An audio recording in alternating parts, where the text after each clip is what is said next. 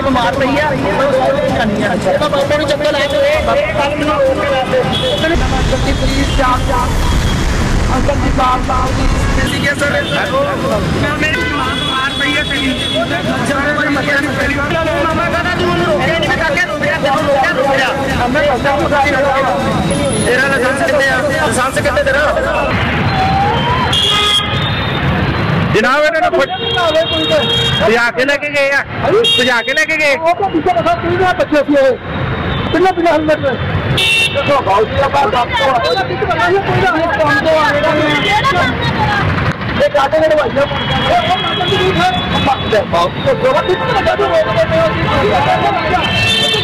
ਕਿਦਾਂ ਭੱਜ ਗਏ ਡਰਾਂਗੇ ਨਹੀਂ ਅਸੀਂ ਕਾਹਦੇ ਵਾਸਤੇ ਤੂੰ ਘੂਮਦਾ ਨਹੀਂ ਇਹ ਕਿਹਨੇ ਨਾ ਜੀ ਤੁਹਾਨੂੰ ਰੋਕ ਦੇ ਤੇ ਚਾਲੇ ਦਾ ਨਾ ਪੁੱਛਾ ਕਰਨਾ ਹੋਣਾ ਚੱਲ ਕਰਨਾ ਰੁਕਿਆ ਉਹ ਡਰਾਂਗੇ ਡਰਾਂਗੇ ਕੁਝ ਪ੍ਰਾਈਵੇਟ ਨਹੀਂ ਇਹ ਉਹ ਕੁੜੀ ਦਾ ਦੁੱਧ ਬੱਚਾ ਸੀ ਕੰਮ ਕਰ ਤੋਂ ਘਰੇ ਤੇ ਪਿਆ ਇਹ ਕਾਨੂੰਨ ਕਦੇ ਬਾਤ ਕੋਲ ਆ ਜਾ ਅਸਰ ਲੈ ਜਾ ਨਾ ਅੱਛਾ ਸੁਣਾ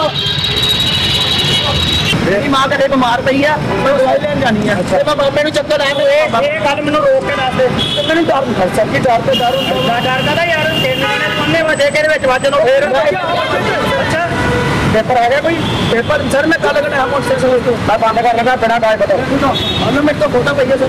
ਫੋਟੋ ਨਹੀਂ ਚਾਹੀਦੀ। ਮੈਂ ਅੰਕਲ ਜੀ ਪਲੀਜ਼ ਜਾਨ ਅੰਕਲ ਜੀ ਮਾਫ ਕਰੋ ਜੀ ਮੇਰੀ ਸੀਗੇ ਸਰ ਹੈਲੋ।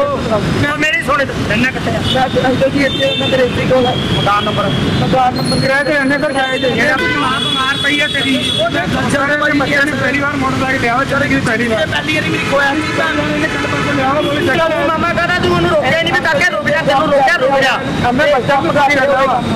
ਮੈਂ ਕੰਮ ਆ ਡਿਊਟੀ ਤੇ ਲੈਣ ਆਇਆ ਸੀ ਮੈਨੂੰ ਬੱਚੇ ਇਦਾਂ ਨਾ ਕਰੋ। ਲਾਇਸੈਂਸ ਦੇ ਦੇ ਆਰਸੀ ਦੇ ਦੇ ਮੈਂ ਬੰਦ ਕਰ ਦਾਂਗਾ ਮੋਟਰਸਾਈਕਲ ਆ ਦੇਖੋ ਮੈਂ ਕੱਲ ਮੋਟਰਸਾਈਕਲ ਮੈਨੂੰ ਨਹੀਂ ਪਤਾ ਕੱਲ ਦਾ। ਕੱਲ ਲਿਆ ਫਿਰ ਤੇਰੇ ਕੋਲ ਆਰਸੀ ਤੇਰੇ ਨਾਮ ਤੇ ਨਹੀਂ ਆਏ। ਮੇਰੇ ਨਾਲ ਗੱਲ ਹੀ ਕਰਵਾਈ। ਅਗਰ ਤੇਰੇ ਨਾਂ ਤੇ ਥੋੜੀ ਹੋ ਗਈ ਫਿਰ। ਉਹਦੇ ਨਾਂ ਤੇ ਨਹੀਂ ਹੋਈ। ਤੇਰਾ ਲਾਇਸੈਂਸ ਕਿੱਥੇ ਆ? ਦੇ ਲਾਇਸੈਂਸ ਤੇਰਾ? ਜਦੋਂ ਬਣਵਾਣਾ ਨਾ ਜੇ ਫਿਰ। ਅੱਛਾ ਜੀ ਇਦਾਂ ਨਾ ਯਾਰ ਕਿੰਨਾ ਇਹਨਾਂ ਨੂੰ ਰੋਕਿਆ ਜੀ ਟ੍ਰਿਪਲ ਰਹਿ ਗਈ ਸੀ ਬਿਲਾਂ ਹੈਲਮਟ।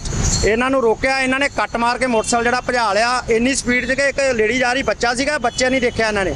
ਪੂਰੀ ਸਪੀਡ ਨਾਲ ਭਜਾ ਕੇ ਲੰਘਿਆ ਤਾਕੋ ਜਾ ਕੇ ਵਾਪਸ ਫੇਰ ਆਏ ਵਾਪਸ ਆਉਂਦੇ ਨੂੰ ਅਸੀਂ ਘੇਰ ਲਿਆ ਇਹਨਾਂ ਨੂੰ। ਇਹਨਾਂ ਕੋਲੇ ਕੋਈ ਡਾਕੂਮੈਂਟ ਨਹੀਂ ਹੈ ਕੋਈ ਆਰਸੀ ਕੋਈ ਲਾਇਸੈਂਸ ਕੁਝ ਨਹੀਂ ਕੋਈ ਹੈਲਮਟ ਨਹੀਂ। ਟ੍ਰਿਪਲ ਰਾਈਡਿੰਗ ਹੈ ਇਹ।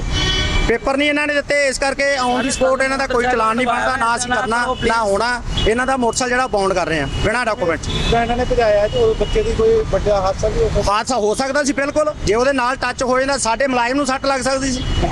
ਸਾਡੇ ਸਾਡਾ ਮੈਂ ਮੁਲਾਜ਼ਮ ਵੀ ਦੇਖਿਆ ਭੱਜ ਕੇ ਪਰਲੇ ਪਾਸੇ ਭੱਜ ਕੇ ਰੋਕਿਆ ਇਹਨਾਂ ਨੂੰ ਇਸੇ ਕਰਕੇ ਰੋਕਿਆ ਵੀ ਉੱਥੋਂ ਯੂਟਰ ਲੈ ਕੇ ਵਾਪਸ ਆਏ ਆ। ਤਾਂ ਇਹਨਾਂ ਨੂੰ ਫਿਰ ਫੜਿਆ ਵੀ ਇਹਨਾਂ ਨੂੰ ਇੰਨਾ ਪਤਾ ਤਾਂ ਲੱਗਿਆ ਵੀ ਰੁਕ ਜਾਂਦੇ। ਹੁਣ ਇਹ ਕਹਿੰਦਾ ਮੇਰੀ ਮਾਂ ਬਿਮਾਰ ਹੈ ਇਹ ਖੜ ਕੇ ਦੱਸ ਦਿੰਦਾ ਸਾਨੂੰ।